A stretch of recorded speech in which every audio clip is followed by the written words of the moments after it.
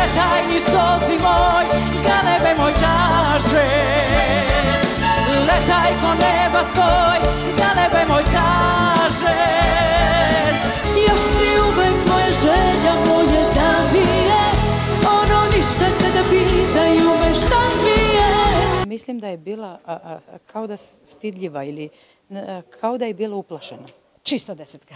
Pamtim sve. Šta mi je Keba rekao, šta mi je Elvira rekao, šta je Mara rekao i šta je Sofra rekao.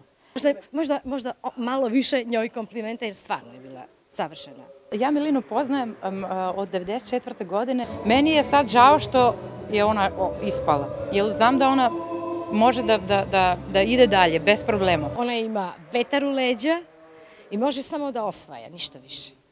Hvala vam. Da osvajaš.